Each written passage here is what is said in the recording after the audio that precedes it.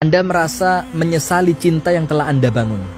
Mungkin malam hari ini Anda merasa menyesali rumah tangga yang saat ini Anda rasakan. Mungkin saat ini Anda menyesali pasangan hidup Anda yang mungkin sekarang dia ada di sebelah Anda ini. Tapi dalam hati Anda, kok kamu sih yang di sebelah saya? Seharusnya dia yang di sebelah saya.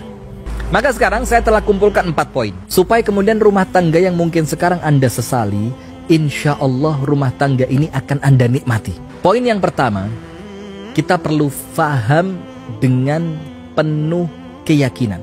Anda itu oleh Allah diciptakan di dunia ini dalam keadaan tidak sempurna dan tentu Anda pun akan mendapatkan pasangan hidup yang pasti mereka tidak sempurna.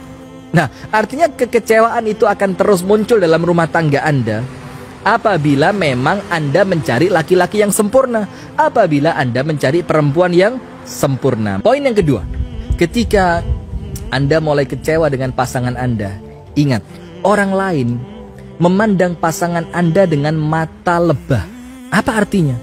Artinya, orang lain memandang dari pasangan Anda itu indah-indah semua. Ketika Anda kecewa, ku sesali cinta ini, ku sesali pernikahan ini, ku sesali pasanganku, mungkin Anda hanya fokus pada keburukannya dia, tapi Anda lupa pada kebaikannya. Jangan Anda buang dia, karena ternyata sosok yang Anda menyesal menikah dengannya itu sosok yang didambakan oleh orang lain. Sekarang poin yang ketiga.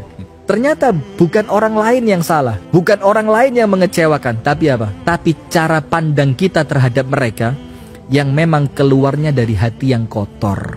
Barang siapa melazimkan membaca istighfar, Allah jadikan kesumpekan dia, kejenuhan dia, kekecewaan dia, Allah ganti dengan bahagia. Orangnya sama yang Anda lihat, suami yang sama, istri yang sama, rumah tangga yang sama. Sebelumnya Anda pandang dengan begitu kecewa, sekarang Anda pandang dengan begitu bahagia. Rumusnya satu, istighfar. Poin yang terakhir, yang keempat. Ketika kita dikecewakan orang lain, kita disuruh mengingat Allah yang maha suci. Allah yang tidak akan pernah mengecewakan. Allah yang tidak akan pernah mengingkari janji. Allah yang tidak akan pernah menjadikan Anda bersedih. Allah yang tidak akan pernah mengkhianati. Jadi Anda langsung diingatkan kepada Allah. Di sini ada dua sisi. Sisi yang pertama, Anda disuruh fokus kepada Allah Ta'ala Zat yang maha sempurna.